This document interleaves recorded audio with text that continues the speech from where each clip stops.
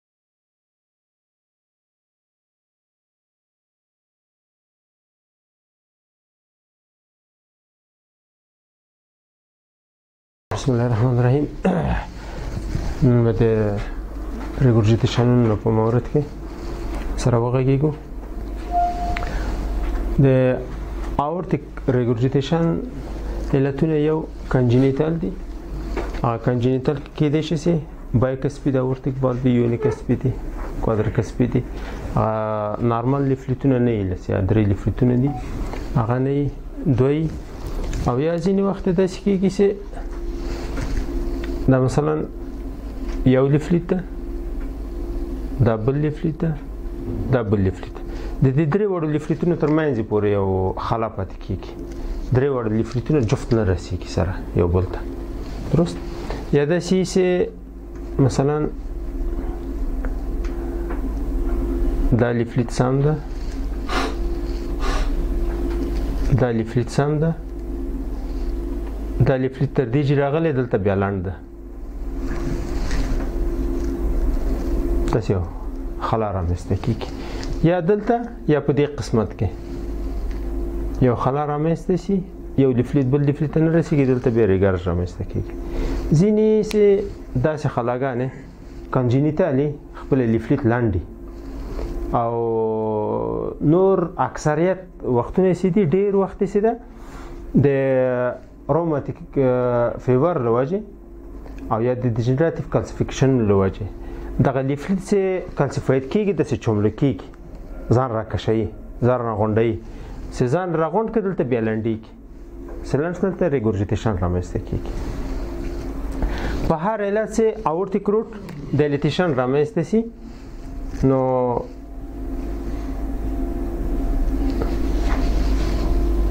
دلته ساينس بل سلوا ده بیا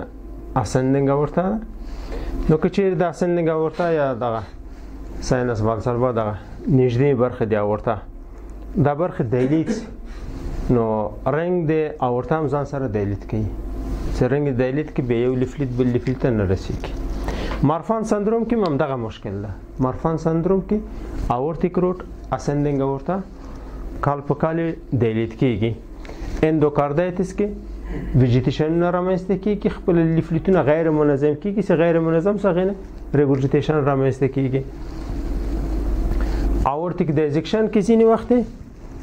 دلته سي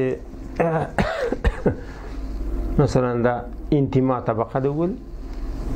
دلته سي یو شق رامنځته سي دغه شق ورو ورو اکثرا خود دسی جی دا انتما دسی چی لګی مخ په وړاندې ځینې وخت بکوار داسې راځي د تیار دلته شاته راځي دغه لیفلیت هم ځان سره داسې چې لیکي په یوه طبقه دی لیفلیت سره کنه د لیفلیتونه سي دي د خونه د د اندو کارت راغله د سې د لیفلیت نه راتاو شوې دي خو پینتی ما بدل شوې ده کنه ځینې وخت د تیر چې لیکيږي به لیفلیت هغه خپل حرکت سم نه سي اجرا کوله د اورتیک د ایزکشن په وخت کې او کچېره د سم پروستیتیکی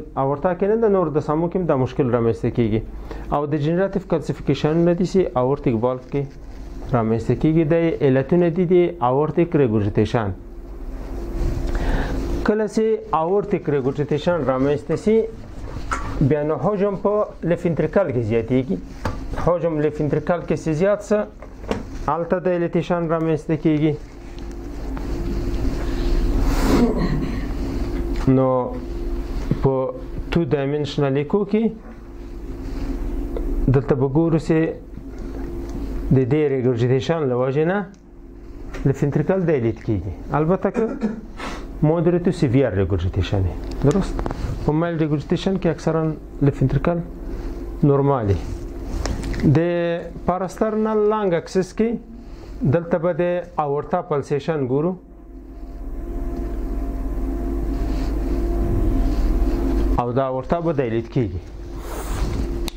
د جنس کوم حجم ریګارچ کوي دا حجم سي ریګارچ کوي دا حجم له دې حجم سره یو ځای کیږي کوم چې د میترال نه داخليږي بوتین ته نو دلته حجم ډیریږي حجم سي ډیر سه دا ډیر حجم سي د لیفنتریکل اوت فلون تیریږي او ورته تا غورځي او ورته کې دا ډیر حجم یو پلسیشن پیدا کوي یو نبضان پیدا کوي دا ستروک ولیوم سره دا او ورته یو خیز وهي صحیح ډیر حجم ده په اورتیک ستینوس کې داسې پلسیشنونه شته د خو ریګورجیټیشن کې ډیر متبارز دي ډیر برجسته پلسیشن کې حجم سي دلته ولېږي او خیز وهي او ورته نو دلته سه ام موډ کې بیا ګوره ام موډ کې دلته ک ام موډ په راوچي نارمل حالت کې مثلا یو پلسیشن ستاده لک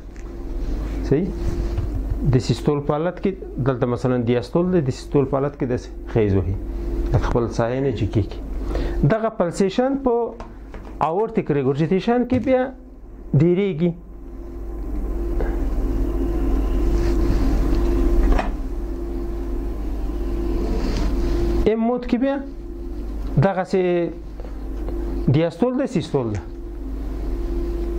دومره تفاوت کوي سره د دې حالت نه لګ ډیر پلسیشن په ایم موډ کې بیا ډیر ښه ښکاریږي اسه په دې مشله کې ښکاریږي په ایم موډ کې بیا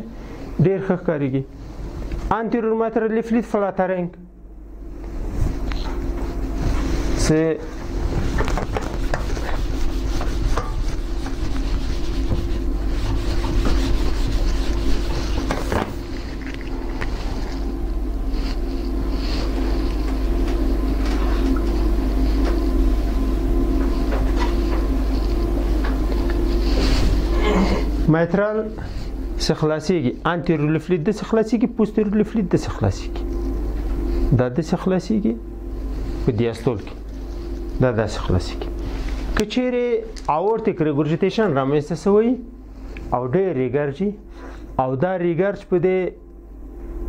لیفلیټ باندې ولګیږي دلته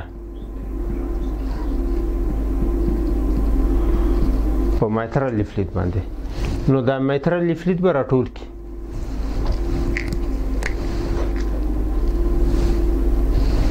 دی خو ته بیټې لګي صحیح دا جیټ بر روانې داسې په دې بلګيږي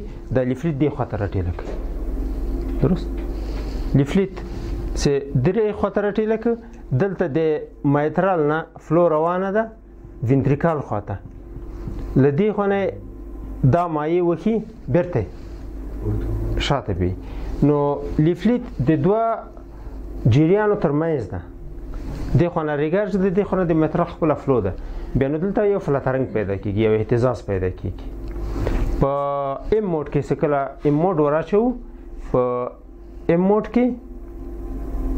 نارمل حالت کې لفلیټ سه خلاصيږي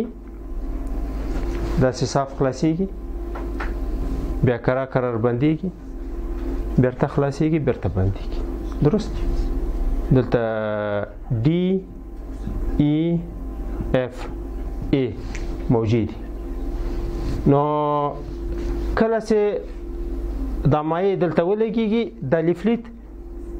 اول خو لک خلاصيږي او بل به دسه فلاترنګ ولري درست په موټ کې داسې اهتزازي موجه رامنځته کیږي داسې صافه موجه رامنځته کیږي دا خو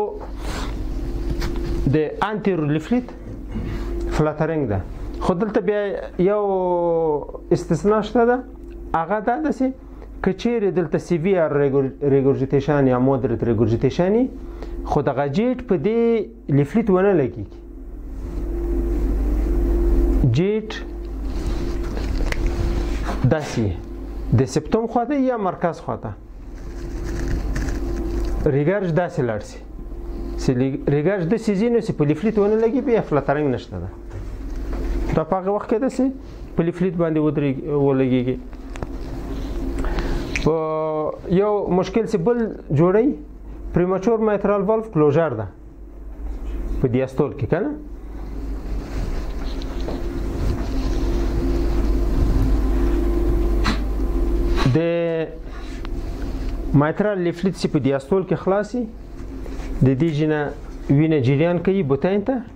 درست لیفلیت څخه خلاصه بیا په کرا کرار چې دا فشار او دا فشار سره مساوي کیږي بیا ورو ورو د لیفلیت بیرته بندېږي چې کله فشار مساوي شي بیا وزن تقلص کوي دا نور وینه چې ور داخلي لیفلیت بیرته خلاصي کیږي کچېره دلته ریګرجی او ورتاکي دغه ریګرچ د دې لامل ګرځي چې دلته فشار زر جګ شي په بوتین کې فشار چې زر جګ شي دا فلو دلته قطع کیږي د اوزین نه بوتین ته اوزین څخه بوتین ته فلو قطع سره لیفلیټ بیرته تړل کیږي زر تړل کیږي یعنی وخت مثلا دلته شیما رسم کړ په ایموټ کې کنه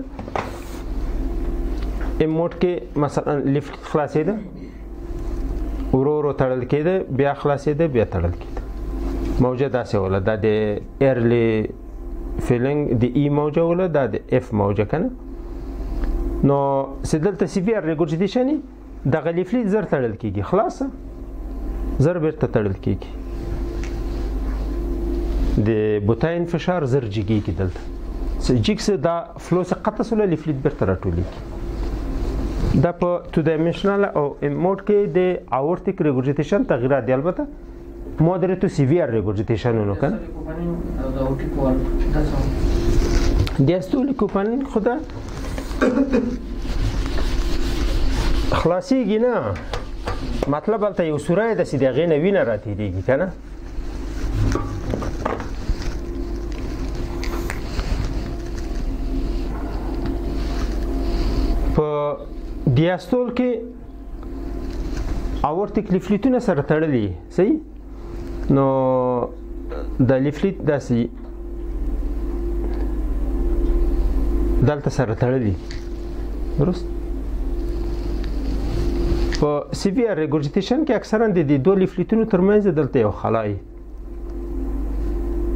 دلته خلاص پاتې کیږي د خچ کې دا لیفلیټ لدی لیفلیټ نه فاصله لري په دې استور کې ازین ویډیوګانو کې لري کالر دوپلر کې بیا ایمورس په ورچو بیا رنګ به د دې دوه لیفلیټونو ترمنځ یو مایع شتون لري کنه پیسه سم سم ټول انیمیشن دی اوس لري ای پی اس اس په دې پورې اړه نه لري ای پی اس اس سیستم د فنکشن کې رامسته کیږي هغه د سیستم سیستالیک د فنکشن کې دا خو کدل ته ریګر رامسته سي دلته جوف د لیت کیږي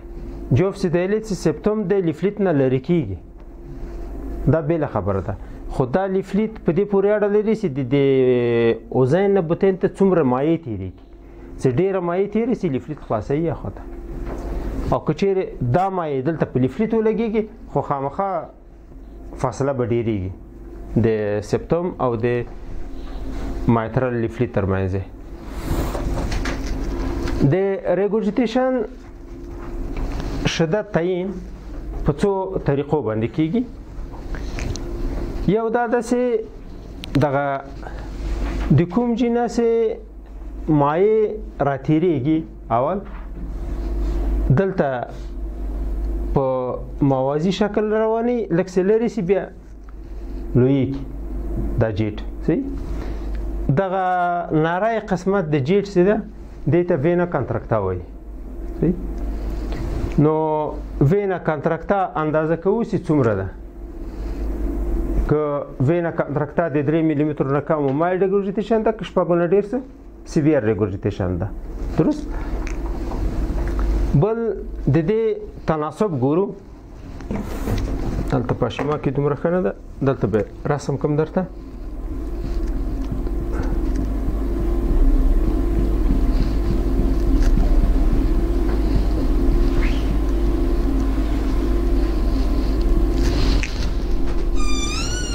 ریګورجیتیشن داسې رامنځته کیږي نو ریګرچ کې دغه برخه سي ده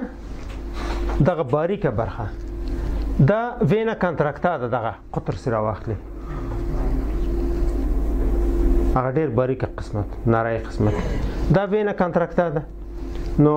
د دې قطر راخلی چې څومره ده د 3 ملي متر نه څه کم څه مایلډ او د شپږ ملي مترونو سي ډي سه سیویر ریګورجیتیشن درست نور دغه قسمت راخلو د دې قطر صحیح او د لیف فینتریکل اوټ فلو تراکټ قطر داسې د دې تناسب ګورو سره چې دغه ریګورجیتان جیټ چې ده د لیف فینتریکل اوټ فلو تراکټ څومره برخه نیولې ده درست که د دیرش فیصد نه کمه برخه نیولې دا مایل ریګوټیشن ده او که د شپېته فیصد نه د د لیفنتریکل اوټ فلو تراکت د شپېته فیصد نه ډیره برخه نیولې د سیویر ریګوټیشن ده نو دا سم کلاسیفیکیشن کېږي مایلډ مودریټ سیویر درست دغه وینا کنتراکتا لک ارزش ډیر ده په دې چې هغه برخه ښیي چې دغه فوهه چې هغې نه وینه تېرېږي اسوره چې وینه ترې تېرېږي نو هغه څومره غټ ده چې څومره هغه لوی هغه سوره څومره لوی دلته وینا کنتراکت هم لوی راځي درست نو دا تناسب سنجو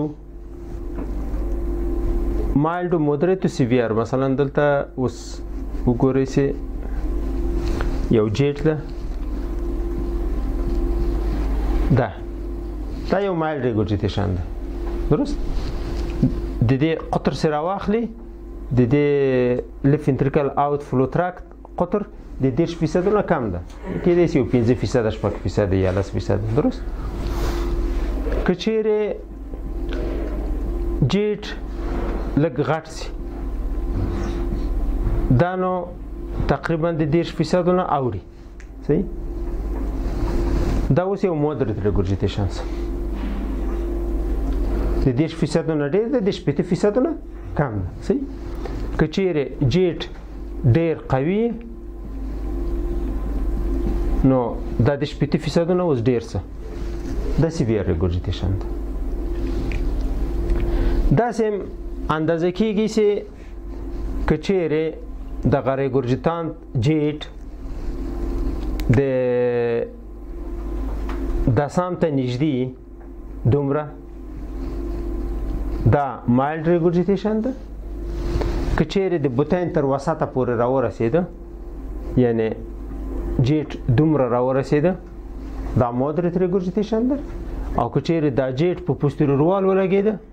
دا سی بی آر ریګولیټیشن ده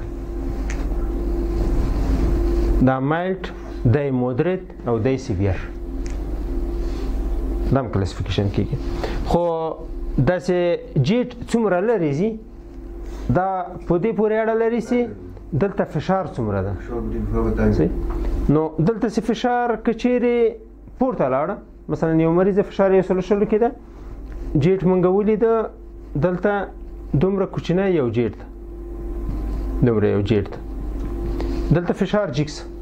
یو سلاتیا 200 ته جیکس نو دلته چې فشار جیکس دا وینه بیا ډیر په سرعت به تن تر داخلي کی جیټ بم دغه سناره خو ډیر بلریزي صحیح سیستمي کوس کړه بلستان ته وړي نو کچیر د فشار جیږي نو دا وینه بیا ډیر په سرعت سره بوتین تر داخليږي تفاوت د فشار زیاتیږي نو دا به وینه به ډیر لري خو جیټ به ډیر باریک نازکه به صحیح دلته به استاد چیرې فشار ورته جګي او جد نری په پوستي روان لګي په دې طریقه باندې بیا وسوي راغل کی او په هغه طریقه باندې کې چې د مقایسه کې د بیوتی سره بیا خو بیا خو کې دې چې دلته دلته مثلا دلته دا جیټ په پوستي ورو لګیدل په دې طریقه باندې سیویر ده قطر سي اندازه کوي مایل ده نو د حجم ته ګوري چې څومره حجم راغلی دا بوتین ته سي د حجم له لحاظه بیا په مدرت کې راځي کنه چې دا حجم سي وسنجي چې څومره حجم ده دا بیا په مدرت ريګورجټیشن کې راځي سیویر کې به نه نشي نه بیا سیویر کې نه نشي دلته خو بیا په یې کې جیټ باریکه ده کنه دلته خو نور کریټیریا ولرو د شدت د تعینولو لپاره که نه یوازې خو دا نه ده چې دا جیټ څومره لرې ځي دلته وینه که کانتراکتا څومره ده هغه ډېر مهمه ده د دې دیامتر او د لیف انترکل اوت فلو تراک دیامتر څومره ده او بل بیا رګورجتان ولیوم هم بیا سنجو سي هغه څومره ده دا ټول کرایټریا باید پوره کړي چې بیا رګورجتیشن ورته وایو بل په شارټ اکسس ته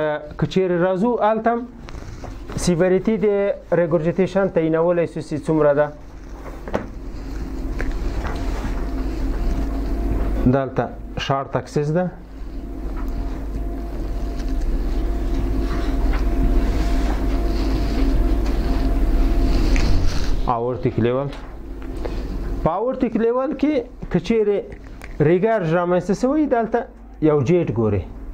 صحیح رګورجیتیشن ګوري دلته د دغه رګورجیتیشن مساحت سه د سه د رګورجیتان جیټ د سه القه کې مساحت یو ګوري او د لیفینتریکل اوت فلو تراکت مساحت مثلا دا مساحت وګورئ چې څومره ده بیا د دې تناسب وګورئ صحیح د جیټ تناسب او د دې لیف انتریکل اوت فلو تراک تناسب صحیح ایریا تناسب ده نو داسې د 10 فیصد نه کم سو مال ریګورجټیشن ده او د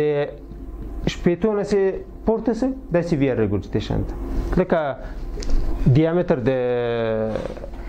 الویوتیم چې اندازه کوو د ریګورجټان جیټ سره کنه دا مغه 10 فیصد او 70 فیصد ده چې دلته جیټ څومره ده خو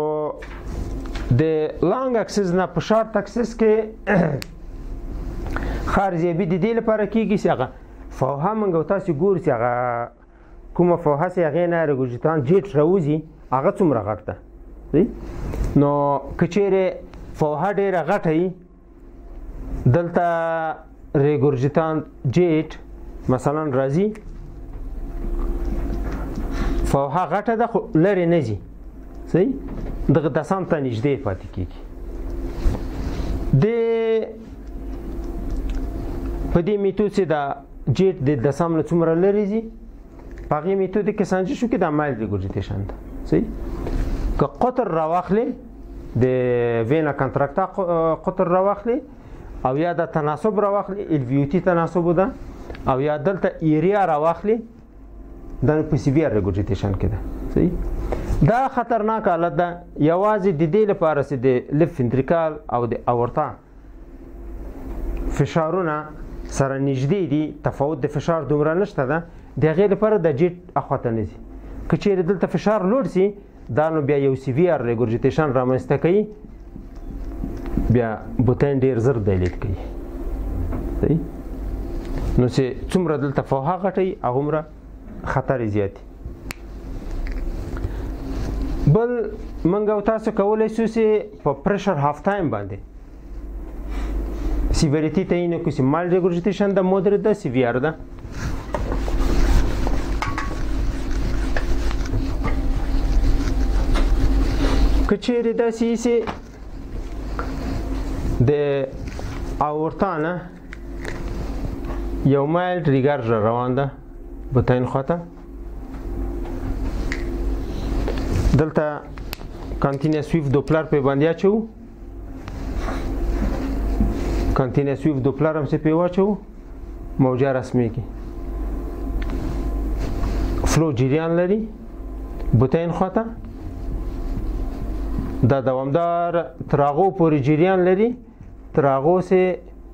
دا فشار جګ سي په بوتین کې او دا فشار راټیټ سي دا فشارونه سي مساوي سي هغه وخت کې ودرېږي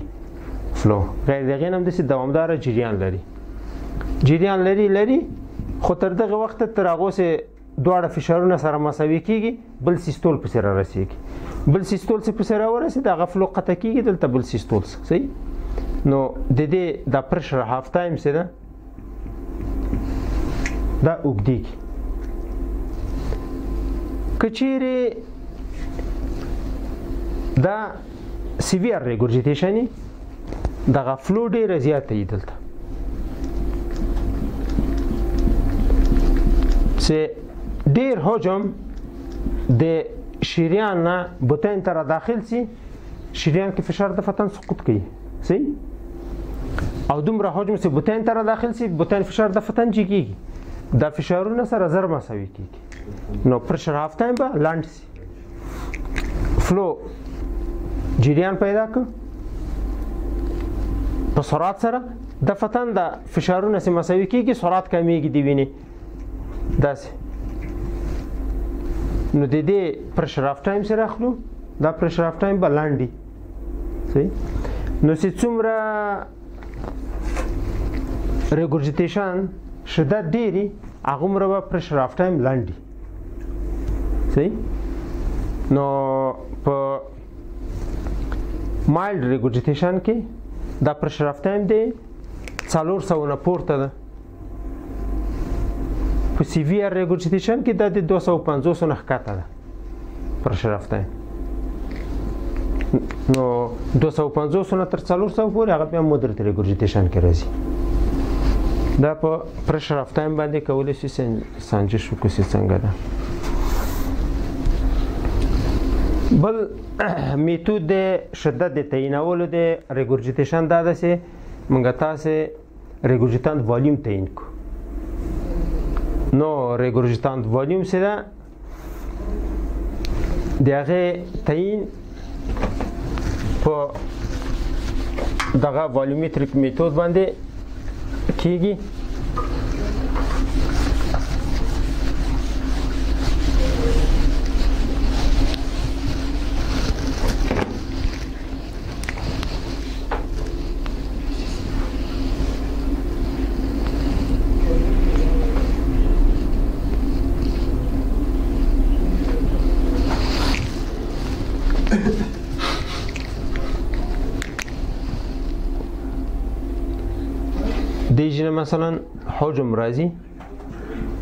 بتاین ته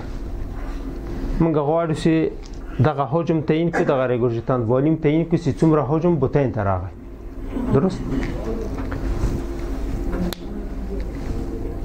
فرمول عمومي د رګورژتان والیم لپاره منګه تاسو درلوده سي ریګورجیتان والیوم مساوي ده په کیو توتال منفي کیو سیستمیک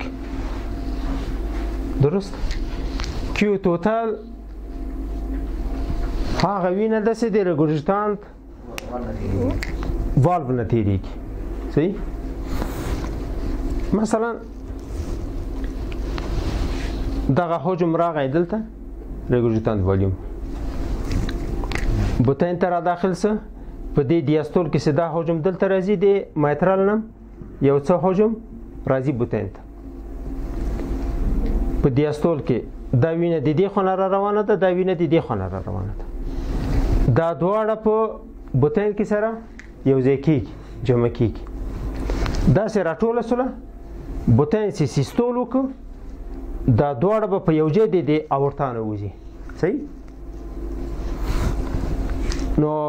همدا حجم همدا حجم سیستول په وخت کې مثلا ماترال تړل کیږي دا مجبور د ټول هجوم به دی لفنتریکل اوت فلو نه تیریږي نو د لفنتریکل اوت فلو نه هم ریګورجیتانت والیوم بیرته ولاړ تیر سو او هم هغه وینه چې د سیستم نه راغلی وله دا دواړه نو ریګورجیتانت دغه کیو توتال د منګه سیده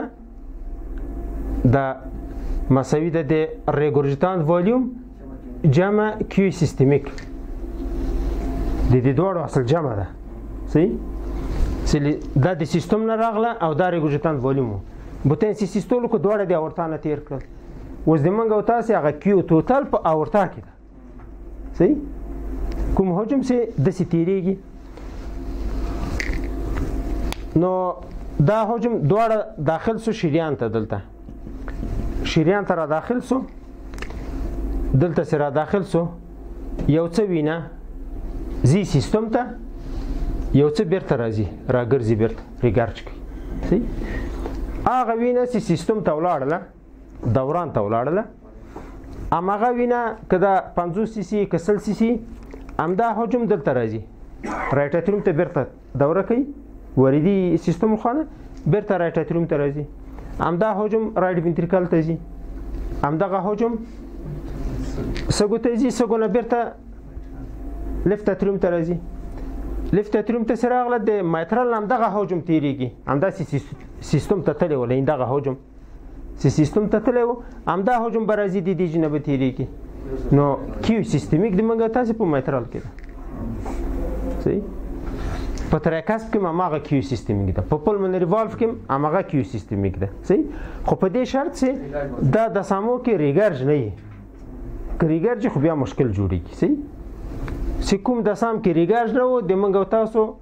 سیستمیک فلو عملته ده درست نو اوس که چیرې مثلا داسې فکر وکړو چې د بوتین سیستول وکړو دا جمع ده ټول خارج څه شریان ته ووت صحیح نو د لیف انتریکل اوتفلو نه مثلا داسې یو بولی سي یو سلو شل ملي لیتر وینه تیره شوله صحیح بیرته سي دا وینه ولاړله یو څه خو دلته بیرته یې ریګار جو کړي دی یو سلو شلو نه یو څه بیرته راوګرځیدله دا وینه سي ولاړله سیستم ته سیستم نه سي بیرته راغله نو د تریکاسپ نه یا مایترال نه یا پلمونیر نه سي تیریږي دلته اوس مثلا مایترال نه موږ تاسو دا حجم وسنجو چې د مایترال نه څومره حجم تیر شوی ده دینه حجم سنجش کوي فکر کوي دلته پیدا کوي سي اتیا ملي لیتر د مایترال نه تیر شو سي نو سیستم ته موږ لګلې ولې یو سل شل سي سي درست خو دلته اتیا راغلي د بیرته نو دغه اتیا سي د یو سلو شلو نه منفي کې څلوېښت پاتې کېږي څلوېښت سي سي هغه وینه ده چې سیستم ته تللې وله دغه اورته نه بیرته راوګرځېدله ریګار جوک نو فرمول ریګورژیتان والیوم د منګو تاسو داسې ده چې کیو توتال کیو توتال د منګه یو سلو شل ملي لیتره ده منفي کیو سیستمیک دا اتیا ملي لیتره ده دا چې لاغې نه منفي کې څلوېښت ملي لیتر ریګولیشن والیوم ده درست دا د اورتیک ریګورجیټیشن لپاره دا یوازې صحیح په دې فورمول کې کچېره ماترال ریګورجیټان والیوم سنجو هغه په دې طریقې کېږي د ار د سم هم داسې کېږي مثلا دلته وبوله سه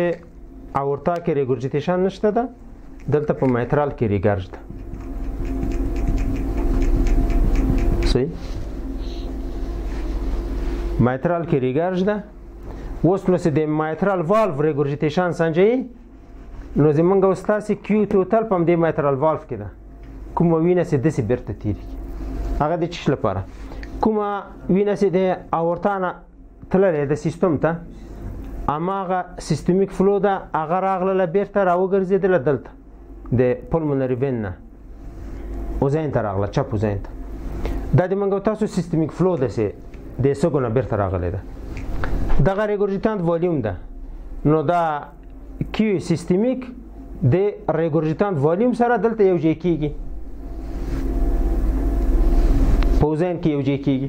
اوزین کې یو ځای سي کله دیاستول سره د سم خلاص نو دا او دا وینه د ټوله به یو ځای بیرته ځي بوتین ته درست نو میترال نه چې کومه وینه بیرته تیریږي هغه اصل جمع د دې ریګورجیتانت والیوم او د دې سیستمیک فلو د منګو تاسو د کیو توتل په خپل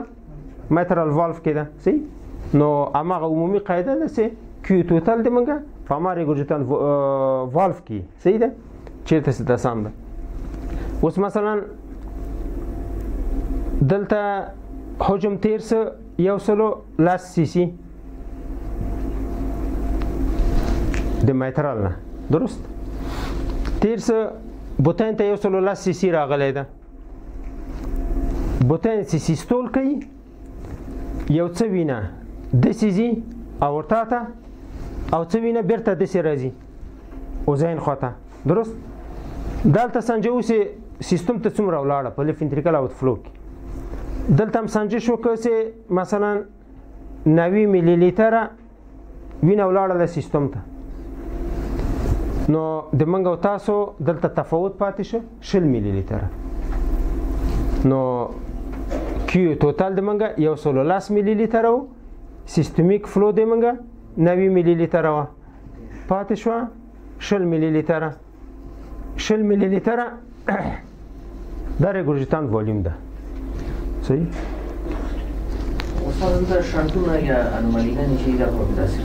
او شنت خو بیا مشکل جوړي شنت خو بیا خبره نه خو کیو توتال خو د تغییر نه کوي کړي ګوجیتیشن په ټوله د سامو کې میکنه دا کیو توتال خو د تغییر نه کوي خو دغه حجم دلته راغلی د سیستم سره یو ځای سره بیرته داخل سره کیو توتال د مغه ده د کیو سیستمیک لپاره به داسې د سام سنجایي سي الته ریګرج موجود نه وي الته ریګرج نه وي نو حتمي نه ده چې دلته ته اورتا را واخلي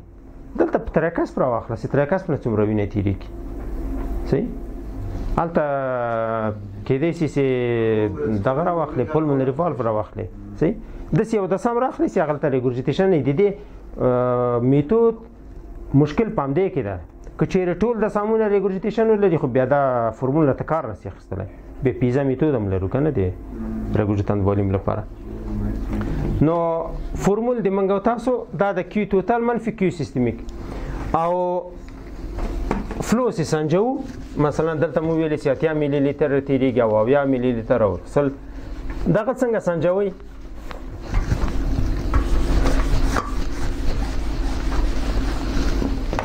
عمومي فرمول د فلو سره ده کراس سیکشنل ایریا ضرب دی تی وی آی یا سرعت ضرب دی مساحت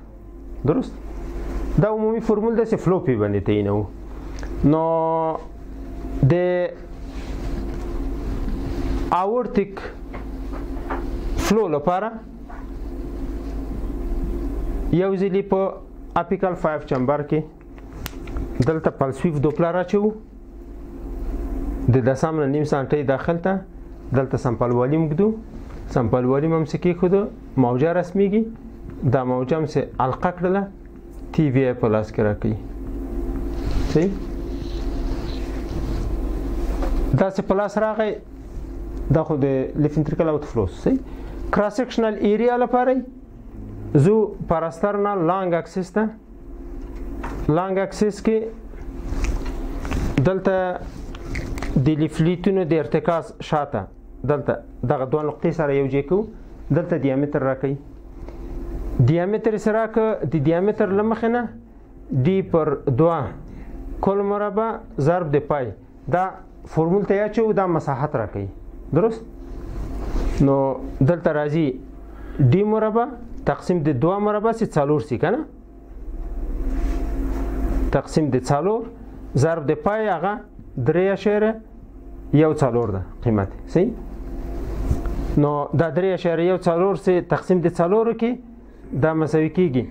ډي مربع ضرب د 0.15 صحیح ده نو دا سي تقسیم دي دي کې دا عدد ورکړي نو مساحت په دې شکل باندې پیدا کوو د ال ویو تی درست دی مربع ضرب د 0.15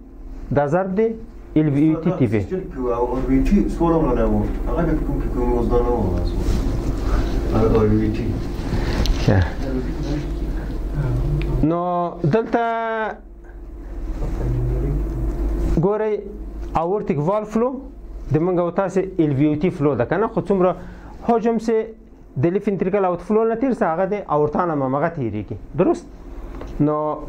لیف انتریکل اوت فلو تراک دیامتر مربع ضرب د 0.15 د کراس سیکشنل ایریا سره ضرب د لیف انتریکل اوت فلو تراک تی وی آی درست دا د اورتیک وال فلو سره یا ال وی او تی فلو سره درست منفي دا کیو توتالو منفي کیو سیستمیک کیو سیستمیک د موږ مایترال کې وو د مایترال فلو لپاره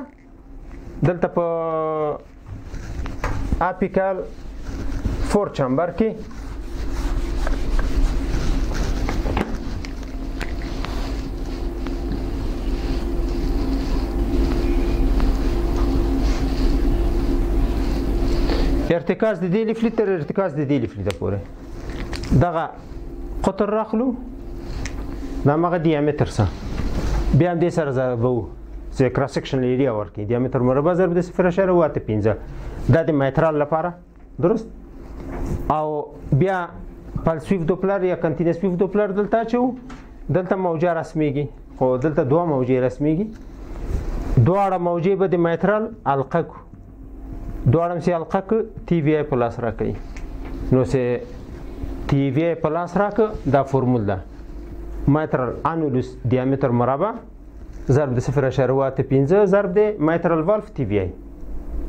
درست سیستمیک فلو منفي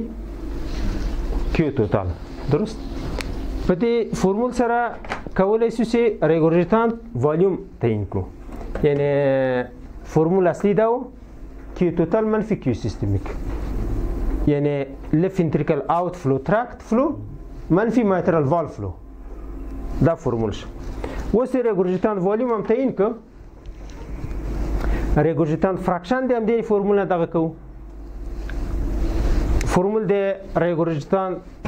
فراکشن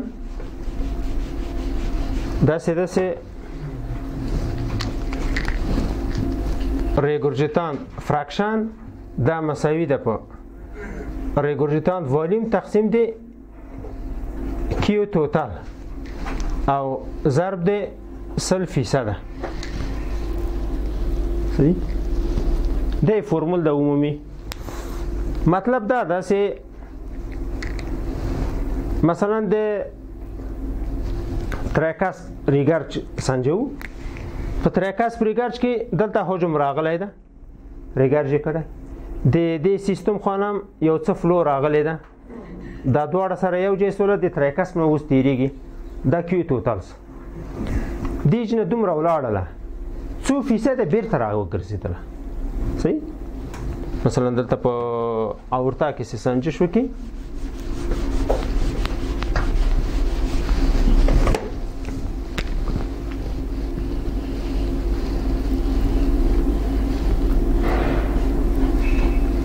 کچېره مونږ رګوجتان والیم تعین کړی په هغه په خواني فورمول باندې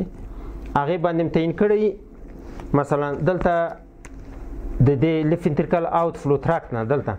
حجم مونږ تعین کسي ولاړ دلته یو سلو دیرش ملي لیټر حجم دوران ته ولاړ بیرته راغله حجم ریګورجیتان ولیوم هم تعین کسي مثلا یا دیرش یا څلوېښت ملي لیتره بیرته راغلی سی دغه حجم سره ګورجیتیشن کړي بیرته راغلی د دغه حجم سره ټول تللی وو څو فیصد تشکیلوي سی دا رګوجیتان فراکشن ده یعنی یو سل دیش سی سی وو په دې بوتن کې د پمپ سولار دوران ته د دې څو فیصد بیرته راغی نو رګوجیتان والیوم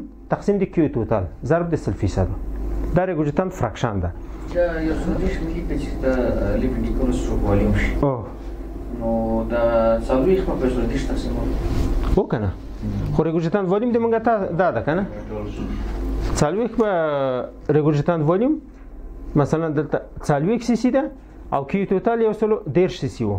دا به د دې تقسیمي ضرب د سلو به کوي صحیح اوس که مثلا دلته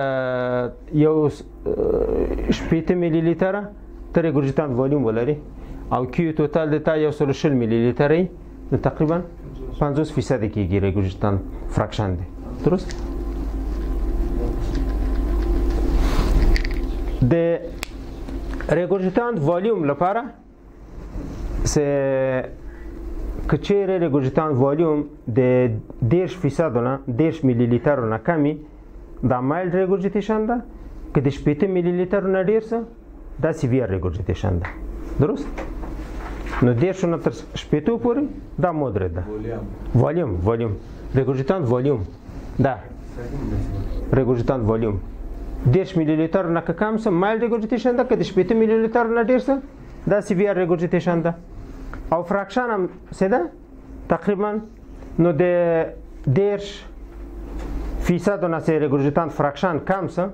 دا مایل ریګوجیټیشن ده او د 55 فیصد نه سي ډیر سه هغه سی وی ار ریګوجیټیشن ده دلته بیا جدول کې شته ده فیصدي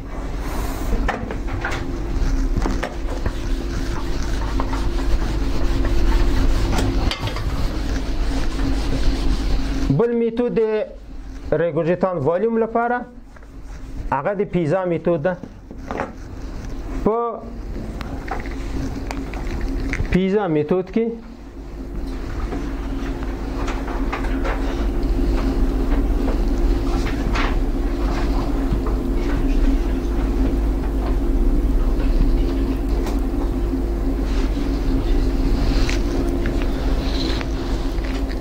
هغه عمومي قاعده ده وایي مایع چې د یو تنګ سوري نه تیریږي هلته د سوري څنګ ته ورسیږي نو دلته را څرخیږي یو ګرداب جوړي بیا داخلي ګرد تیریږي درست نو کچېری دلته په میترال کې وګوري مثلا میترال ریګورجیټیشن ده میترال ریګورجیټیشن کې دغه مایع سي دغه تنګ فوهې ته ورسیدله دالته یو گرداب جوړی بیا را داخلی کیږي درست کچېره دې اورتا ریګورجیټیشن وګورو د اورتا وینه سي د سره تیریږي دلته د تنګ سایه ته سره ورسیده دلته یو ګرداب جوړیږي بیا داخليږي صحیح نو کچېره دغه فوها منګه ته معلومه یې سي دا سوره څومره سوره ده سې دې نوی نه تیریږي نو موږ تاسو کولای شو چې رګوجتان ولیوم ته انکو نو فلو دغه فرمول د فلو د سی وسه کراس سیکشن نال ایریا ضرب دی تی وی آی په دې فرمول باندې موږ تاسو کولای شو چې د حجم تعین کو کچېره دغه فوهه معلومه یې چې د فوهې نه چې د وینې تیریږي صحیح کچېره فوهه معلومه نه یي نو بیا داسې فرض کوو چې کوم حجم چې د دغه جنتیریږي دغه ګرداب نه تیریږي اب دغه حجم د دې سوري نه ور تیریږي صحیح ده نو دلته داسې فرمول لیکلی شو چې هغه هیمسفیر فلو دا نیم دایره سي دا دایره سي دلته جوړه شوې سي دا مساوي ده د افیکټیو ریګورجیتانت اورفیس فلو سره صحیح هغه سره سي وینه ترې تیریږي هغه فلو دا فلو سره مساوي ده یعنی دا فلو له دې سي فلو سره مساوي ده کوم سره نه تیریږي د فلو فورمول سي ده دا فورمول ده صحیح ده دغه هیمسفیر کراس سیکشنل ایریا ضرب دی تی وی آی مساوي ده افیکټیو ریګوژیتان تورفیس ایریا ضرب دی تی وی آی درست په کالر دوپلر څخه خلاصو دلته یو کالر بار خلاصيږي کنه نو دلته مې یو عدد لیکلی مثلا دلته آتش پېته دلته ما آتش پېته لیکلی داسې یو عدد درست مونږ تاسو دغه بیزلاین سیمنز کړه دا د سه د وینې جهاد خطا بیجې کوو مثلا په اورتیک ریګورجیټیشن کې د سپورت به په میترا ریګورجیټیشن کې ښکته راولو درست نو دلته د اورتا فلو سره د سره بیزلاین هم پورته به د سره د سپورت د بیزلاین هم سپورت به میترا ریګورجیټیشن د سره د سره ښکته راولو نو دا بیزلاین تر هغه پورې پورته کوو چې د سور رنگ د نیکوست لیمټ را کم سي او دلته الیازنګ ورکی د رنگ تغییر وکي د دې سور رنگ نه شین شین رنگ ته ووري داسي درست داسې رنگ تغییر وکړ د وینې سرعت په دغه ساحه کې سي الیازنګ ور کړی دی هغه دغه عدد د سې دلته لیکل شوی ده مثلا مخکې خو دواړه مسایل ول اوس دا سی وبولې سي دلته شل پاتې سي دلته اتیا پاتې سي صحیح نو د دغه سرعت سره دغه سره مساوي ده دې ته وایي الایزینګ ویلوسیټي درست دې سره مساوي ده نو په دلته منګ او تاسو دغه شل سي ده د ویلوسیټي د د تی وی نه ده درست نو سي دلته هیمسفیر کراس سیکشنل ایریا ضرب دی تی وی نشو کولای دلته ضرب دی ویلوسیتی کوو نو سه دام ضرب دی ویلوسیتی کو دا مجبوره ضرب دی ویلوسیتی به کوي درست او به خاص دا ته ماشین دا آپشن به ورکی کوم تی بیا جدا ورکی کوم یو آپشن غواړي دا به جدا کوم هغه ورکی نه خو ګور کنه ګور دا عدد دې دغه جن راخلي دا خو د الایزینګ ویلوسټي الایزینګ ویلوسټي د دې جن راوخسته کنه دغه کراس سیکشنل ایریا اوس ګوري ګوري کراس سیکشنل ایریا اوس د دې جن پیدا کوو دغه تاسو دا دا اصلا مکمله دایره نه د نیم دایره ده صحیح ده مثلا دلته غټه رسم کو دغه ته یو فوهه ده دا سې نیم دایره ده درست نیم دایره ده موږ او تاسو د دې نیم دایره شعار اخلو صحیح د نیم دایره مثلا دا دایره ده دومره یوازې موږ شعار واخیستله شعاع سره اخلي د شعاع لمخه کراس سیکشنل ایریا سي پیدا کوي شعاع به مربع کوي ضرب د دوه پای به کوي سه مساحت د دې کورې را پیدا کی کنه او او کنه خو دلته شوام راواخستل دلته شوام راواخستل د مساحت د دې کورې یا دایره ورکه ده کنه دا په دې فرمول د فزیک فرمول ده کنه ار مربع ضرب د دوه پای قیمت د یو پای سي ده درې اشاره یو څلور ده نو دوه پایه کې څه کېږي شپږ شعر دوه اته کېږي صحیح ده نو دوه پای آر مربع د منګو تاسو دا ده درست اوس که چیرې دلته وګورئ چې افیکټیو ریګورجیتانت اورفیس معلوم نه یي کنه منګو تاسو څه کوو افیکټیو ریګورجیتانت اورفیس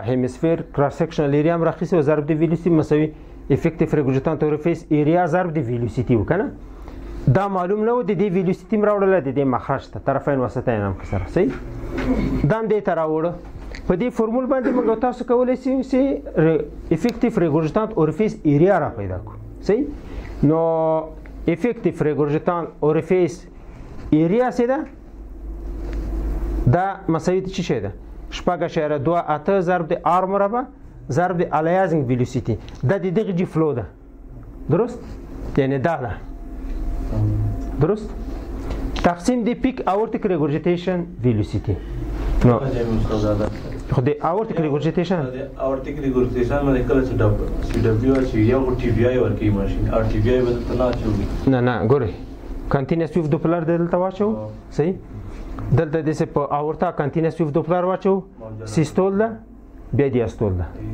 دیاستول موجه رسمي کې دلته ختمي کې صحیح نو کچېره دلته د منګو تاسو پیک ویلوسيټي پکار ده پیک ویلوسيټي دلته ده کرسر د سلته کې خو د کر دغه درکې پیک ویلوسيټي درکې درست او بل کچېره د موجه د حلقه کړل دسي دا موجه د حلقه کړل نو دلته بیا ټول ارقام درکې پیک ویلوسيټي هم درکې پیک پريشر ګرادینټ هم درکې مین پرشا ګرادینت هم در درکې او تایم ویلوسیټي انټیګرال هم درکې ټول درکې صحیح ده نو که چیرې حلقه د کړه نو پیک ویلوسیټي بدل ته په مخرج کې ولیکي صحیح ده او د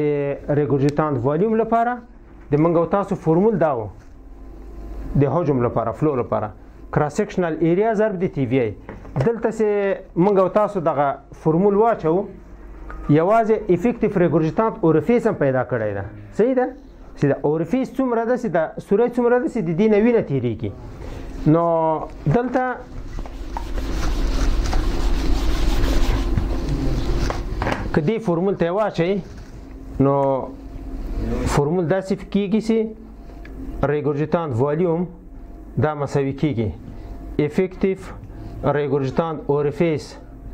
ایریا ضرب دی ریګورجیتان تی وی آی صحیح فرمول داسې ده اوس نو افیکټیو ریګورجیتان اورفیس ایریا د منګو تاسو دغه ده صحیح ده چې دا ریګورجیتان والیوم مساوي ده د آر مربع ضرب د شپږ اشاره 2 اته ضرب د الیازینګ ویلوسیټي صحیح ده او تقسیم د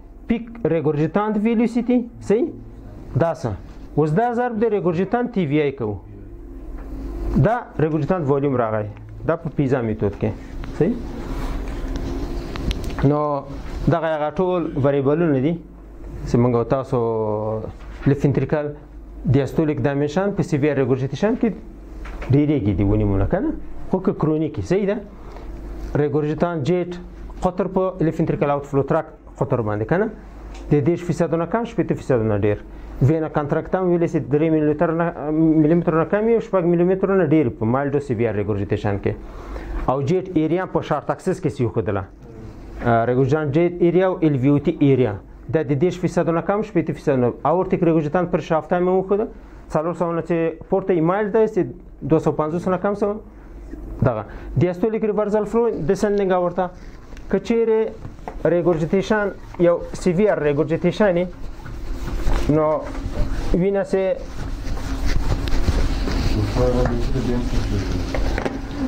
څنګه ده په بنس کې سپور نه یم خو نن دا باید خلاص شي اصلا دا درسونه موږ تاسو لوستي ول خو یو تکرار دی دا وکړه دلته کې چیرې ریګارډ مثلا دا ورته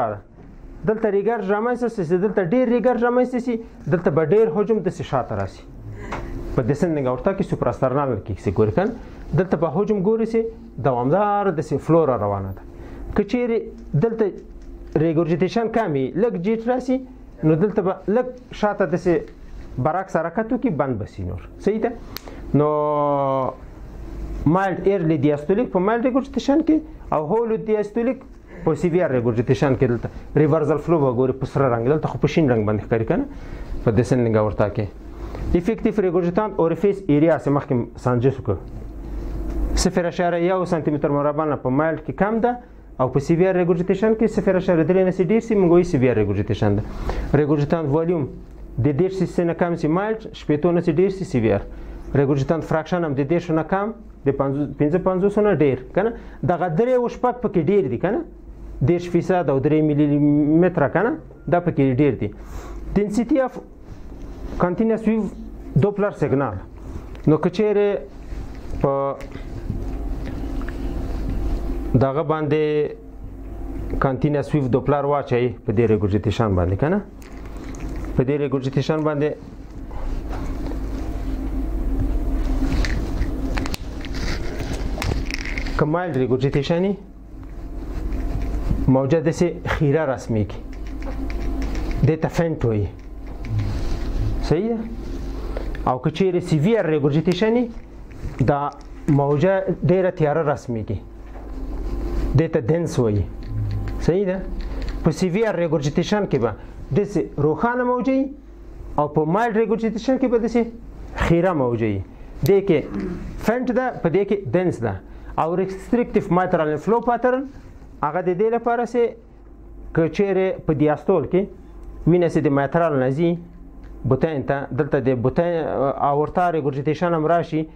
ګوتین زر ډک کی مایترال فلو شروع سوله زر بیرته قطع کیږي مایترال فلو صحیح وزن سي تقلص کوي ډیره وینه نشي ور داخله ولې په دې سي دلته د دې خو وینه را روانه ده بوتانی وخت ټکړې ده نو لک فلو بدل تر راشي د دې ګریډ 3 د استولیک ډیسفنکشن غو درسم سو صحیح ریستریکټیو میترال انفلو په سیویر ریګورجیټیشن کې رامنځته کیږي په مایلډ مودره کې بیا نه رامنځته کیږي البته په دې د سیلریشن ټایم باندې تاثیر کوي مایکرو ریګورجیټیشن هم نیم ویلې د نیم به سبب وي